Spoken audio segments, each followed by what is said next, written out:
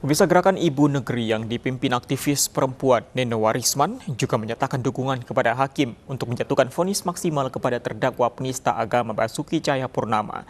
Mereka menilai ada kejanggalan dalam persidangan, terutama saat jaksa hanya menuntut Ahok dengan pasal 156 KUHP.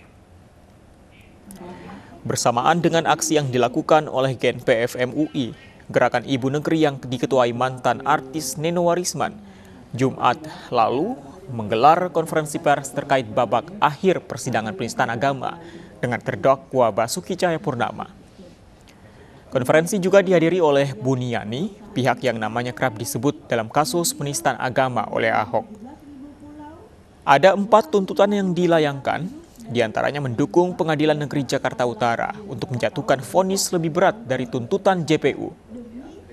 Meminta PN Jakarta Utara bersikap independen dan meminta Pengadilan Negeri Jakarta Utara untuk memperhatikan surat edaran MA nomor 11 tahun 1964 yang menyatakan pelaku penistaan atau penodaan agama harus dihukum berat.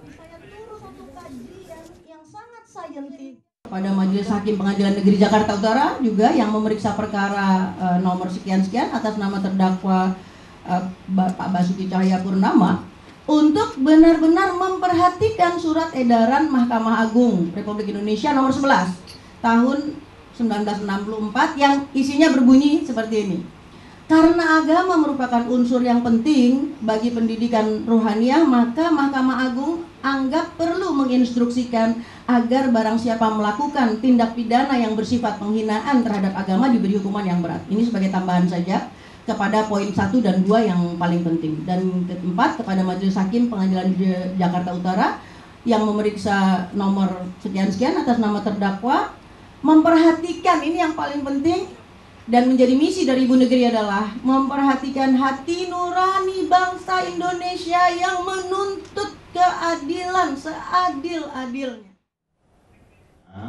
Saya merasa dizolimi ya saya diperlakukan sangat zalim. Saya pertama dilaporkan oleh tim sesnya Pak Gubernur ini yang mencalonkan diri lagi. Yang kedua karena saya tidak terima dilaporkan berdasarkan pasal 28 ayat 2 Undang-Undang ITE yaitu menyebarkan informasi tidak berhak menyebarkan informasi berdasarkan syarat gitu ya. Itu pasal 28 ayat 2 undang ITE nah saya kan nggak terima dilaporkan. Masa seorang dosen menyebarkan kebencian?